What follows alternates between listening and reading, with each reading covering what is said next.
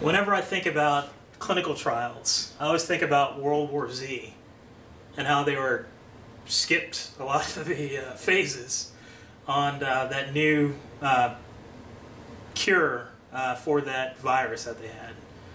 Um, they didn't really go through all the phases in World War Z, so I'm going to try to go through them right now. Um, in clinical trials, you're going to have four phases, phases one through four. Phase one is, is it safe?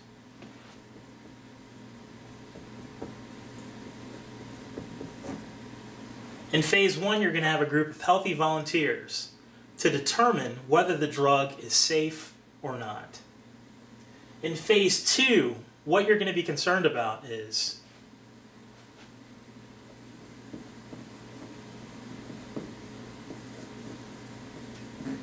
does it work?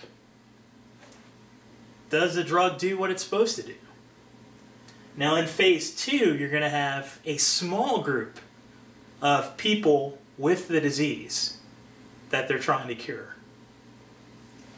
Phase three is concerned with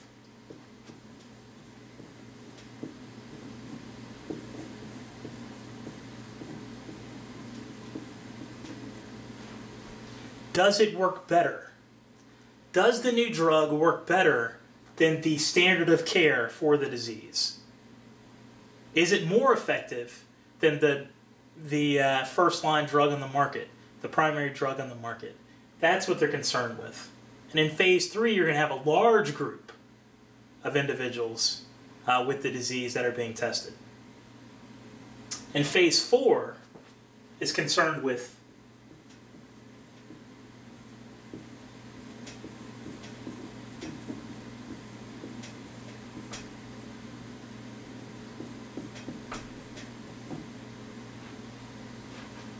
think I might have spelled that wrong. But anyway, phase four is concerned with post-market surveillance. They're trying to see if four years down the line, five years down the line, something far down the line, there's something unexpected that they didn't know about. Um, so they want to keep monitoring the drug to make sure there's nothing unexpected uh, that comes from the drug. So that's pretty much it. Uh, clinical trials, you got phase one, is it safe? Phase two, does it work? Phase three, does it work better? And phase four, post-market surveillance.